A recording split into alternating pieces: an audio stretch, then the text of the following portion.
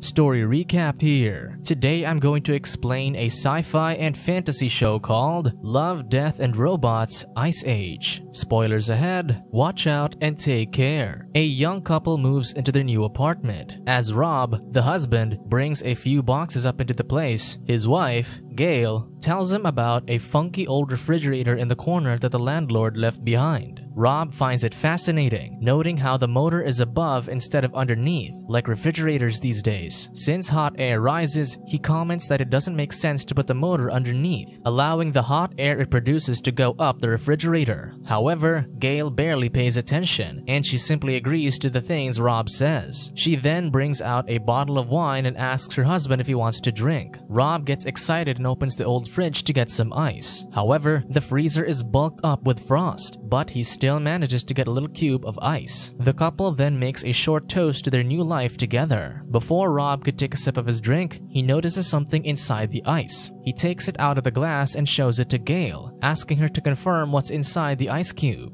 Gail looks closer and becomes just as surprised as her husband. Wanting to confirm what she saw, Gail grabs a magnifying glass to inspect the ice cube closely. Surprisingly, inside it is a miniature mammoth with spears in its body. Gail wonders if there are more of these things in the freezer, so she opens it. She quickly takes out the junk inside and gets shocked by what she sees. With this, Rob takes a peek and comments there's a lost civilization in the refrigerator. True enough, the freezer contains a miniature working medieval city. Everything inside moves so fast, with the little people going through their day normally, unaffected by the two giants hovering near their city. In disbelief, Gail claims that what's happening doesn't make sense, and Rob agrees. She then clarifies that they're seeing an early medieval city, when woolly mammoths died out sometime in the late Neolithic period. Rob shrugs it off and simply agrees with his wife to hide his ignorance. Later on, Rob buries the frozen mammoth in a pot of dirt. Rob seems sad about it, so Gail lightens up the mood and says it'll probably make for a good fertilizer. Curiosity takes over, and the two check the freezer again. To their surprise, everything has changed drastically. What used to be a medieval city is now a modernized place during the Industrial Revolution. Factories and railroads are built, covering the freezer sky with smoke. The couple knows that they've only been gone for 10 minutes, but decades have already gone by for the miniature people. With this, Gail theorizes that time moves differently inside the freezer. As they witness the Industrial Revolution at great speed, Rob is disappointed that they missed the Renaissance period.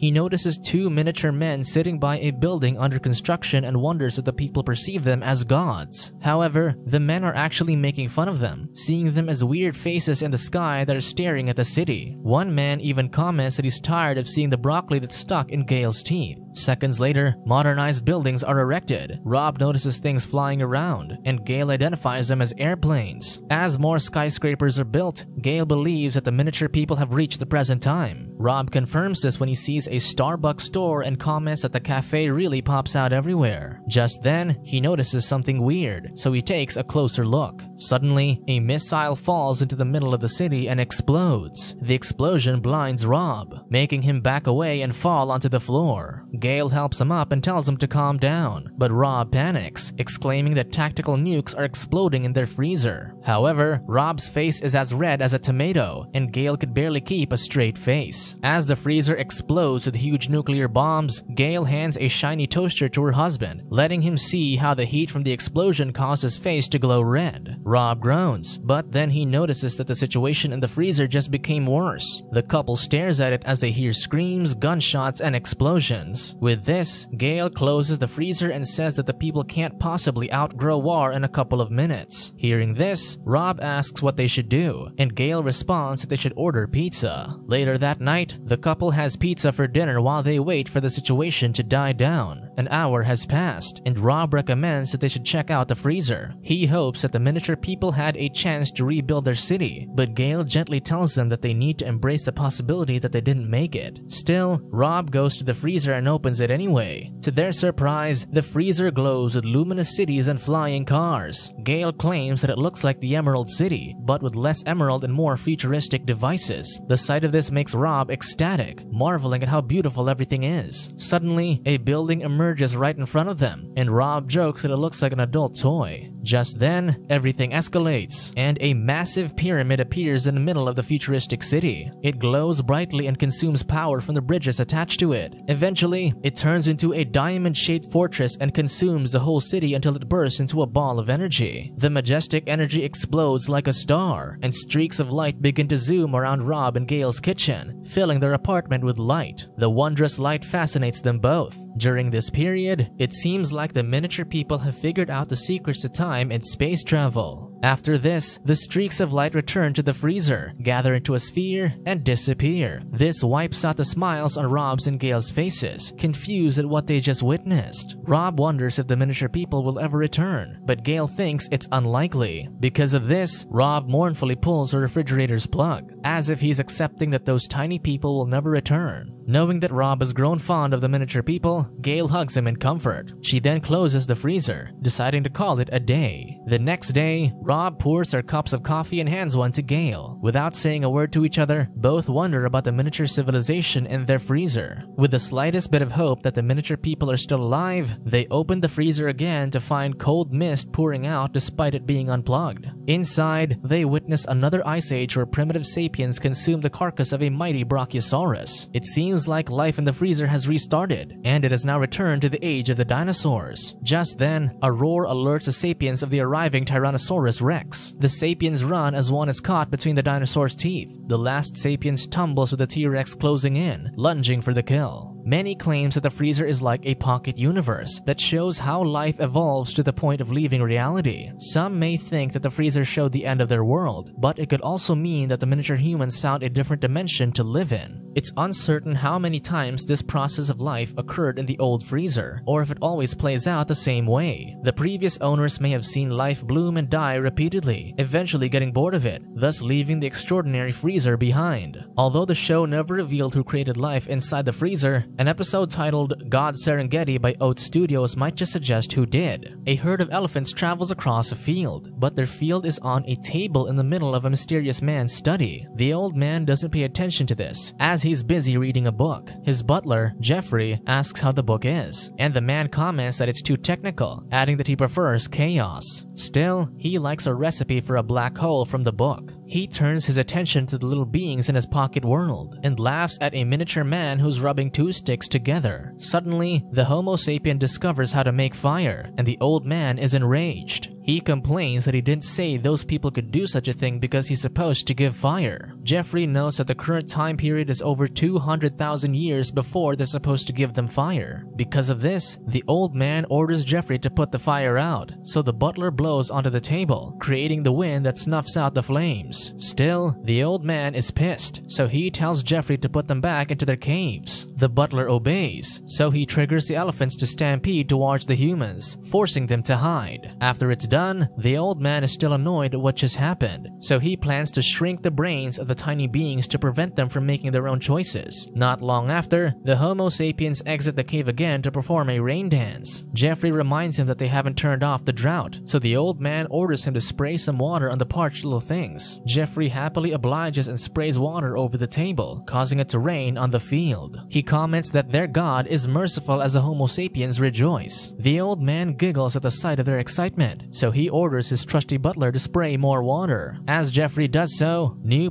plants begin to sprout from the little field. Finally, he's had enough of his fun, and the old man tells Jeffrey to release the plague. The butler hesitates, but the old man is adamant about ending this little game. With no choice, Jeffrey opens an antique box and takes a fancy bottle from it. With furrowed brows, Jeffrey sprays this over the Homo sapiens, and one by one, the people collapse as they take their final breaths. The old man simply watches this from over his book before continuing with his reading. This story about creation depicts God as both merciful and unforgiving. While he provides water for the thirsty beings on his table, he also takes their lives in a snap once he's tired of watching them. Both Love, Death, and Robots Ice Age and God Serengeti present their own versions of godlike beings. Rob and Gail watch life grow and die without intervention, but with sympathy for the civilizations they witness. In contrast, the other presents a more involved god who's apathetic to the lives on his table, treating them as entertainment that he can simply turn off.